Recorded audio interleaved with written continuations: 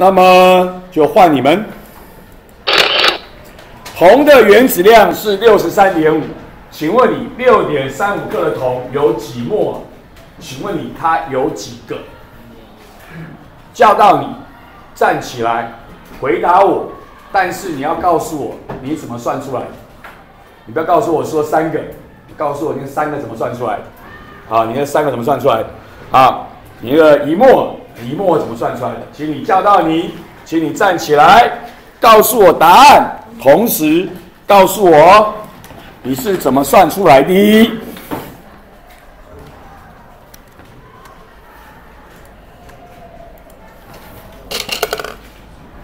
三四二，三四。哦。你好大。来，答案第一个，第一个答案。知道。六点三五公克。六点三五公克铜有几摩尔？几摩尔？答案一摩尔怎么算？答案五摩尔怎么算？不会了，这样也可以不会哦，太厉害了。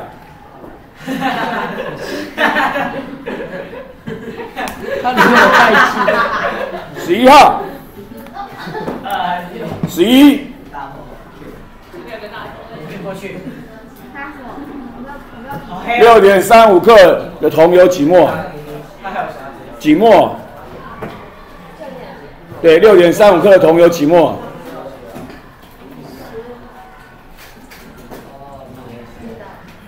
不知道。两个人坐下，待会再叫你们站起来。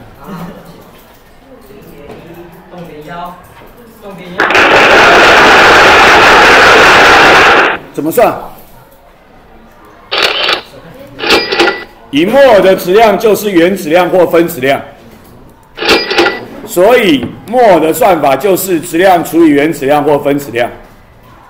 质量六点三五克，质量原原子量六十三点五，所以除完零点一。基本公式往里面塞就好了，没有任何技巧。两个人起立。有几个？两个人起来。几个？几个？有多少个？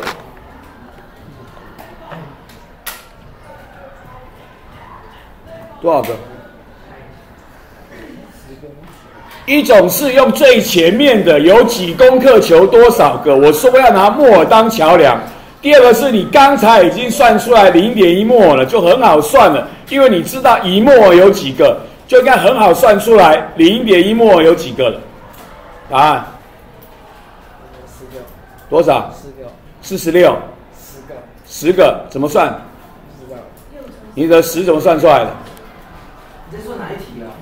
不知道。你的答案？零点一摩的铜有几个？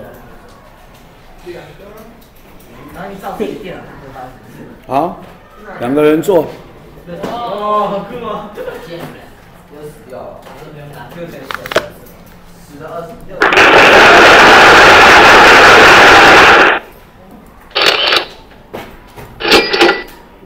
如果你不要用最前面的答案，零点一摩直接做。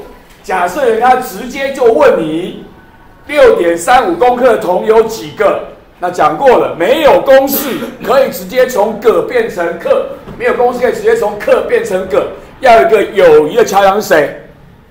莫，所以都要变成莫来换算。好，那如果你有零点一莫就不用了，就可以直接用。所以你就是多少个除六乘以十二三等于几摩尔？摩尔质量除以原子量或分子量，所以刚才已经说零点一摩，一摩是六乘以十二三次方个，所以一乘乘出来六乘以十的二十二次方个，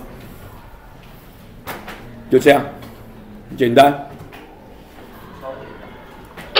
这是基本观念，后面的题目怎么变化，还是这个基本观念在变化而已。你就要把公式给我背好、背清楚，然后拿出来用，就对了。OK。请问有人有问题了吗？没有，OK。